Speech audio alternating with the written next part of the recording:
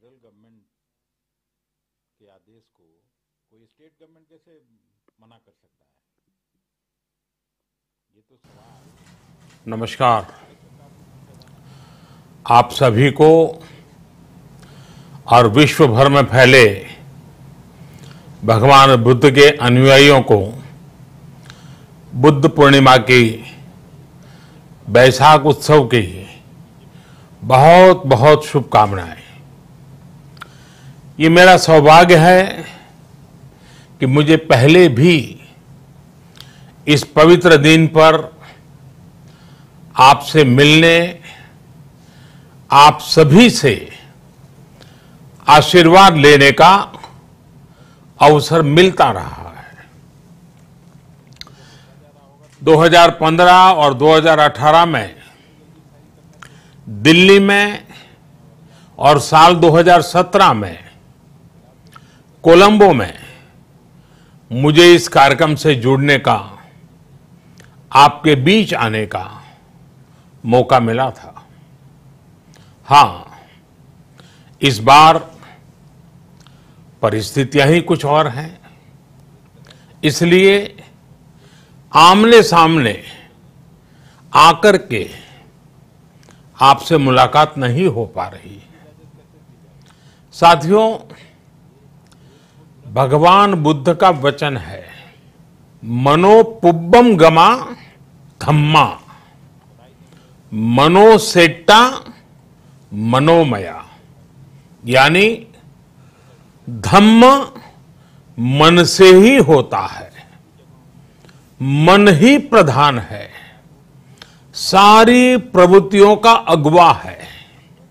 इसलिए आपका और मेरा मन का जो जुड़ाव है, उसके कारण सशरीर उपस्थिति की कभी उतनी महसूस नहीं होती। आपके बीच आना बहुत खुशी की बात होती, लेकिन अभी हालात हमें वो परमिट नहीं करते हैं। और इसलिए दूर से ही टेक्नोलॉजी के माध्यम से आपने मुझे अपनी बात रखने का अवसर दिया। इससे बढ़कर के संतोष और क्या हो सकता है? साथियों, लॉकडाउन की इस विकट परिस्थितियों में भी वर्चुअल बैसाख बुद्धि पूर्णिमा दिवस समारोह इसके इस आयोजन के लिए अंतर्राष्ट्रीय बौद्ध संघ प्रशंसा के पात्र है। आपके इस अभिनव प्रयास के कारण ही इस आयोजन में विश्व भर के लाखों अनुयायी एक दूसरे के साथ जुट रहे हैं।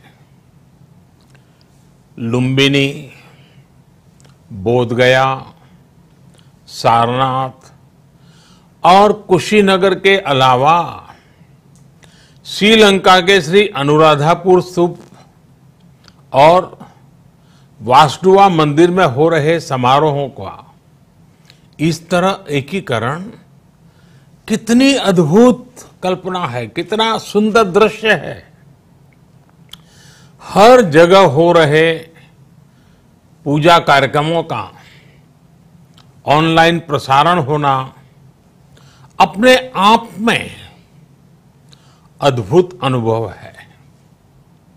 आपने इस समारोह को कोरोना वैश्विक महामारी से मुकाबला कर रहे पूरी दुनिया के हेल्थ वर्कर्स और दूसरे सेवा कर्मियों के लिए प्रार्थना सप्ताह के रूप में मनाने का संकल्प लिया है।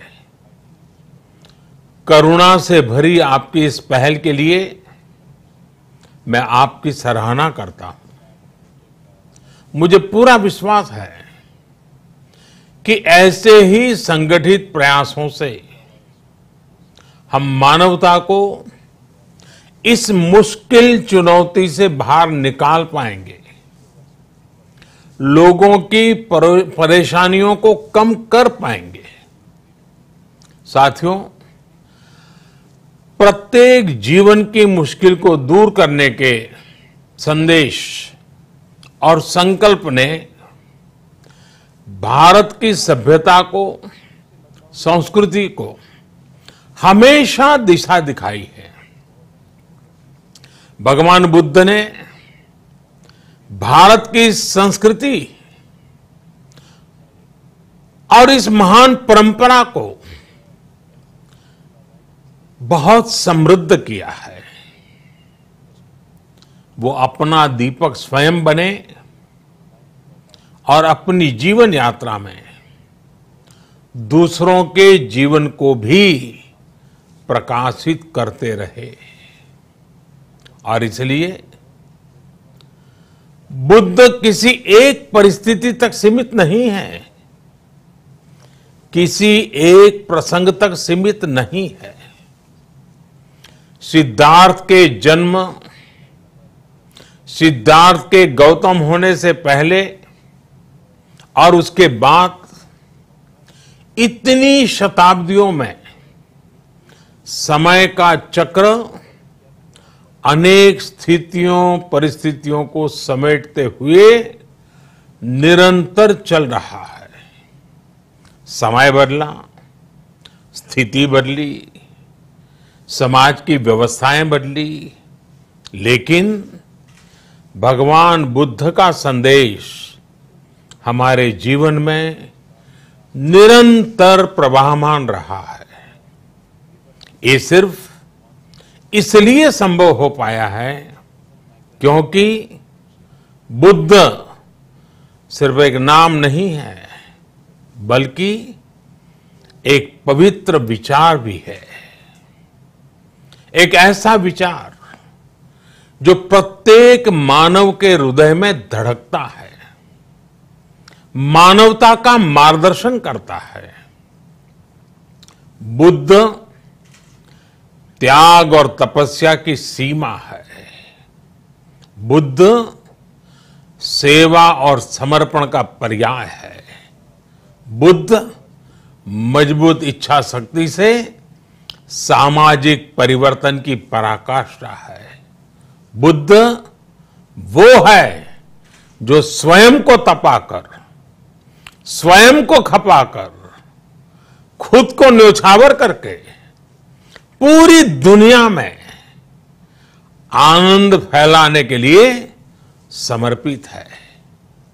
और हम सभी का सौभाग्य देखिए, इस समय हम अपने आसपास ऐसे अनेकों लोगों को देख रहे हैं जो दूसरों की सेवा के लिए, किसी मरीज़ के इलाज के लिए, किसी गरीब को भोजन कराने के लिए, किसी अस्पताल में सफ़ाई के लिए, किसी सड़क पर कानून व्यवस्था बनाए रखने के लिए चौबीसों घंटे चौबीसों घंटे काम कर रहे हैं।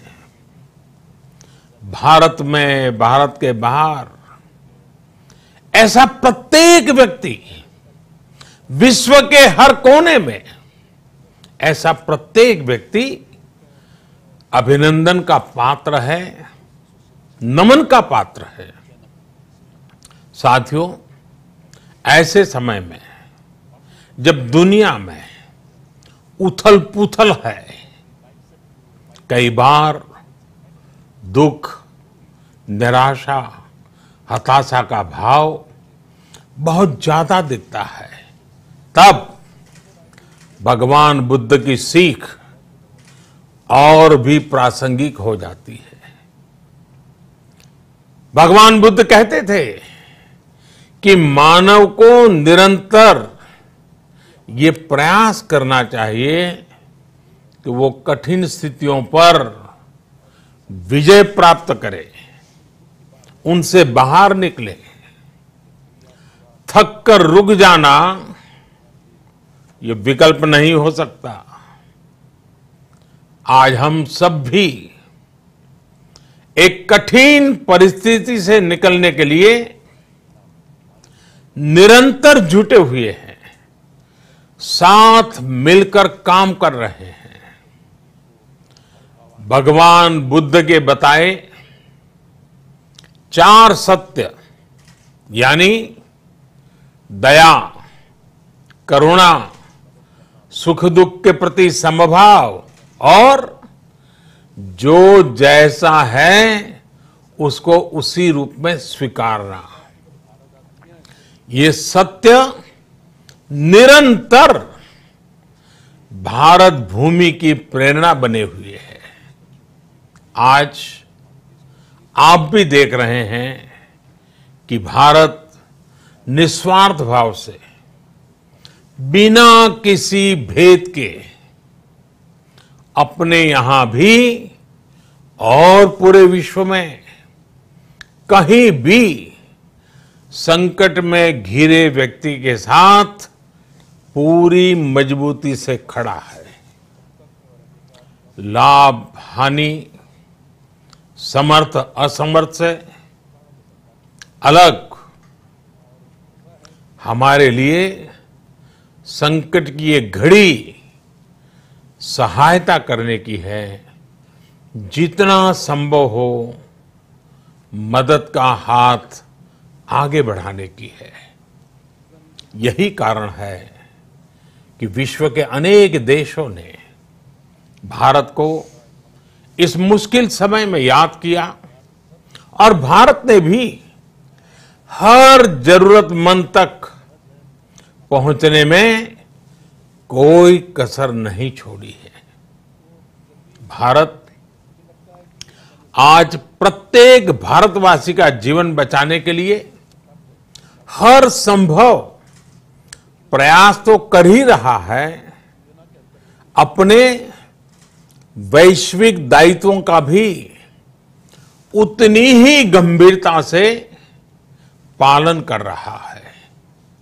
साथियों, भगवान बुद्ध का एक एक वचन एक एक उपदेश मानवता की सेवा में भारत की प्रतिबद्धता को मज़बूत करता है।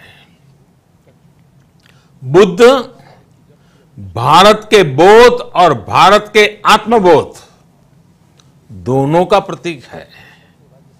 इसी आत्मबोध के साथ भारत निरंतर पूरी मानवता के लिए, पूरे विश्व के हित में काम कर रहा है और करता रहेगा। भारत की प्रगति हमेशा विश्व की प्रगति में सहायक होगी। साथियों, हमारी सफलता के पैमाने और लक्ष्य दोनों समय के साथ बदलते रहते हैं। लेकिन जो बात हमें हमेशा ध्यान रखनी है, वो ये कि हमारा काम निरंतर सेवा भाव से ही होना चाहिए।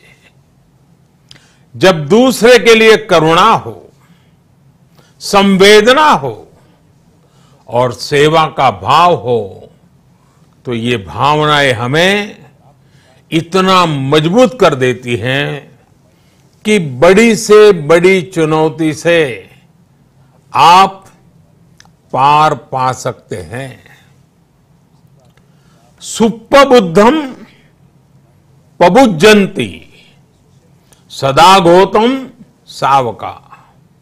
यानी जो दिन रात, हर समय मानवता की सेवा में जुटे रहते हैं, वही बुद्ध के सच्चे अनुयायी हैं।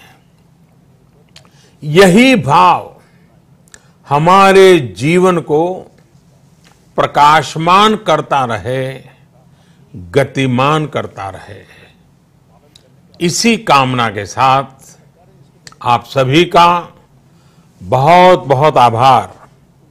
इस मुश्किल परिस्थिति में आप अपना, अपने परिवार का, जिस भी देश में आप हैं, वहाँ का ध्यान रखें, अपनी रक्षा करें और यथासंभव दूसरों की भी मदद करें। सबका स्वास्थ्य उत्तम रहे। इसी मंगल कामना के साथ मैं मेरी वाणी को विराम देता हूँ। धन्यवाद सर्वमंगलम।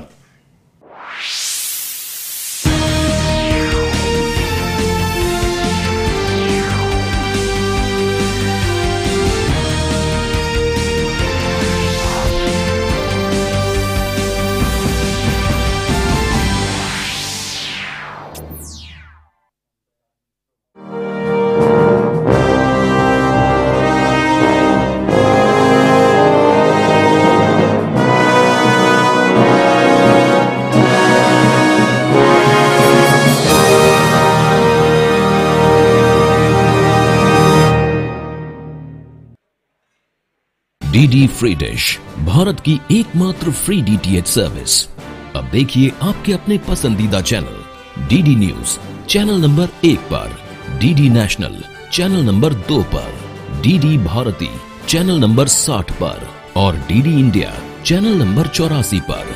डीडी फ्री डिश मनोरंजन का संसार, सीधे आपके द्वार.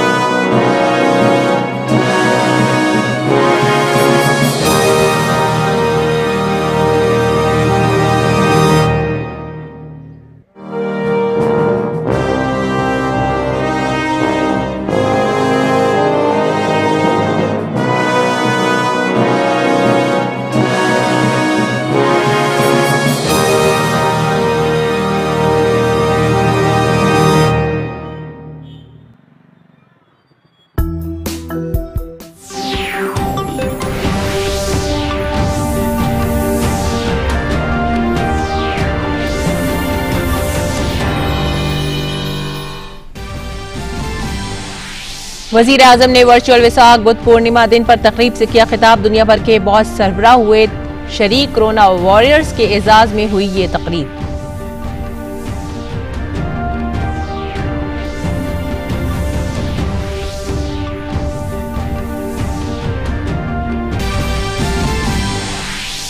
भारत आज से वंदे भारत मिशन की करेगा शुरुआत। गैर ममालिक में फंसे तकरीबन पंद्रह हज़ार भारतीय आएँगे वापस। सात दिनों में तेरह मुल्क से भारतीय चौंसठ हवाई जहाजों और तीन बहरी जहाजों में वापस आएँगे। कोरोना की अलामत से पाक शहरियों को ही मिलेगी आने की इजाज़त।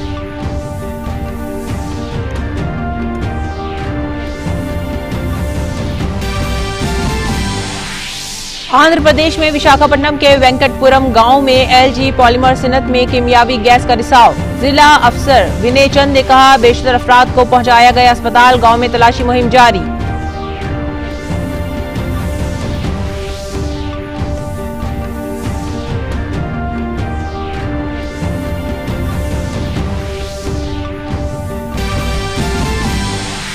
मुल्क में कोविड 19 के इलाज के बाद